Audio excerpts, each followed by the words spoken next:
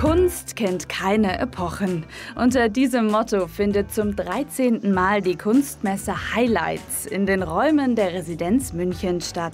Rund 50 Galeristen und Galeristinnen stellen auch in diesem Jahr wieder ihre Kunst aus, die zuvor von einer Fachjury ausgewählt wurde. Den Genres der Kunst sind dabei keine Grenzen gesetzt. Die Highlights umspannt eigentlich 3000 Jahre Kunstgeschichte, beziehungsweise in diesem Jahr von der Gotik bis zur zeitgenössischen Kunst. Wir zeigen Porzellan, Silber, Gemälde alter Meister, viel klassische Moderne, Kunst des 19. Jahrhunderts, Kunst des 20. Jahrhunderts, zeitgenössische Kunst, Fotografie, Design. Also ich glaube, für jeden ist etwas dabei, sowohl für den etwas kleineren Geldbeutel als auch für den großen Geldbeutel.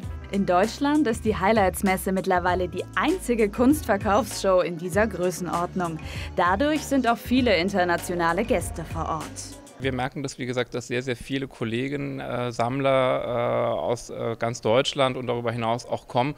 Und die sind natürlich nicht nur auf der Highlights, also vielleicht ist das der äh, große Anlass, aber die gehen natürlich auch in die Museen, die schauen sich große Ausstellungen an, die besuchen andere Galerien.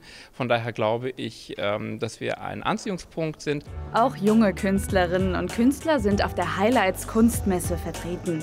In der Sonderausstellung Highlights ex Wunderkunst trifft Malerei auf Technik. Durch eine App werden die Kunstwerke zum Leben erweckt.